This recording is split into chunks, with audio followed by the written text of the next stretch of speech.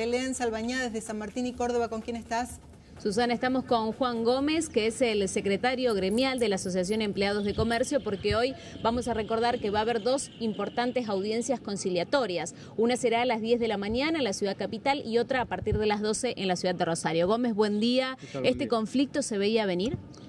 No, en general siempre esta empresa estuvo en contra de, la aplicación de esta ley lo que generó y aceleró e, estas maniobras políticas que está haciendo esta empresa es la sanción el día jueves, la, aprobación por parte del Senado de, esta ley que ahora volvió a diputados para su aprobación definitiva. Esto desató esta maniobra política porque nosotros lo calificamos así. Lamentablemente ponen en juego a 150 trabajadores que se quedan sin su trabajo por una maniobra política para eh, condicionar a la legislatura, condicionar a las autoridades legislativas de la provincia de Santa Fe diputado provincial Eduardo Toñoli dijo que esto se trata ni más ni menos de que aprietes a los diputados. ¿Usted lo considera que esto es así?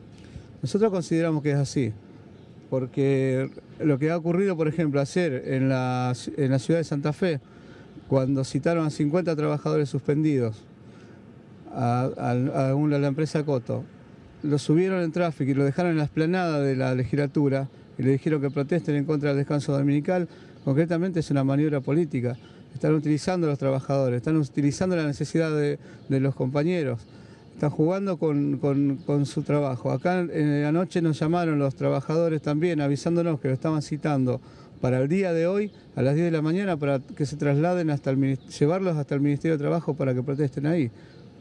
Usted, bueno, seguramente estuvo en contacto con los trabajadores. ¿Cuáles son las sensaciones que se viven por estas horas? ¿Hay temor de perder la fuente laboral? Bueno, realmente están viviendo un momento de terror la gente. Nosotros no nos culpamos porque, por ejemplo, están haciendo afirmar esta mañana que están en contra del descanso dominical.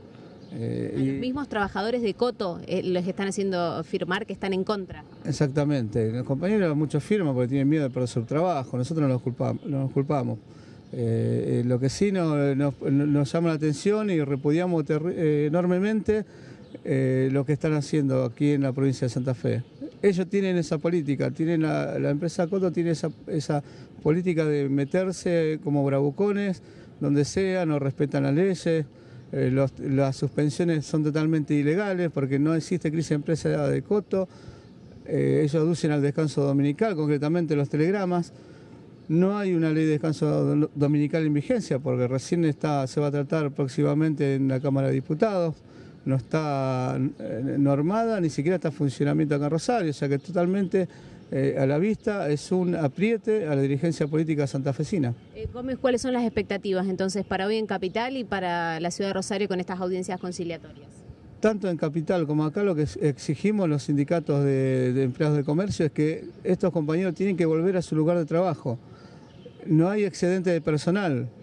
Ayer estaban diciendo a, los trabajadores que están dentro de los super que tienen que hacer hora extra para cubrir eh, el espacio que dejaron vacío sus compañeros.